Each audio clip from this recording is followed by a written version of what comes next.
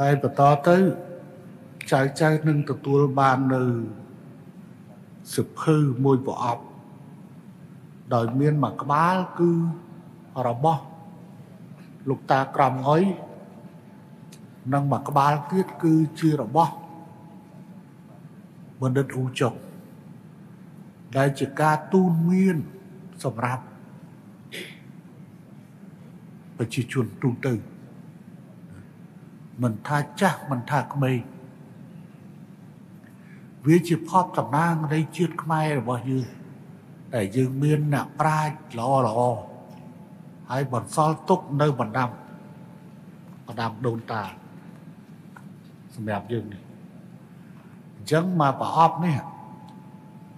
គឺមានសភៅពីរក្បាលនេះដែលយើងចង់ឲ្យសភៅនេះ ជាកំណប់ទ្របសម្រាប់ព្រៀនបដៅមិនក្រន់តែខ្លួនយើងទេអ្នកចិត្តខាងយើងក្រុមគូសារយើងយកទៅមើលបានយកទៅមើលបានណាសូមបីតែរបៀបធ្វើបុណ្យធ្វើទានស្អីស្អីហ្នឹងនេះលោកពុយគាគាត់តកស្រង់នេះព្រួយផ្ដើមដោយលោកពុយគាហើយខ្ញុំជាអ្នកចេញលុយបោះ តាំងចេះលោកតាអ៊ូចុងបណ្ឌិតហ៊ូចុងគាត់និយាយពីរឿងបញ្ហាការធ្វើបុណ្យខ្ញុំអាននៅកន្លែងនឹងតិចដើម្បីយើងអាចយល់ម៉ែឪចាស់ចាស់ព្រឹកឡើងឃ្លានណាស់គួរឲ្យវិយុឪទាពិសាកូនថាមុនលោកពុំបានបរិភោគ គេឲ្យបាបផងនេះបនផ្កាប់មុខឬបនចោលស្រុកព្រោះដើរផ្លូវឆ្កោក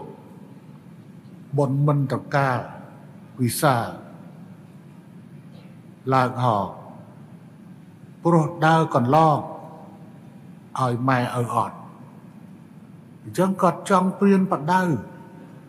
គឺធ្វើបន់ធ្វើទៀន ធ្វើយ៉ាងម៉េចកុំភ្លេចម៉ែឪរបស់ខ្លួនកុំភ្លេចម៉ែឪរបស់ខ្លួនអាហ្នឹងសភៅនេះ គឺសម្រាប់ជាការអប់រំទូនមានហើយខ្ញុំនឹងបោះជាបន្តបន្តទៅទៀតបោះជាបន្តបន្ត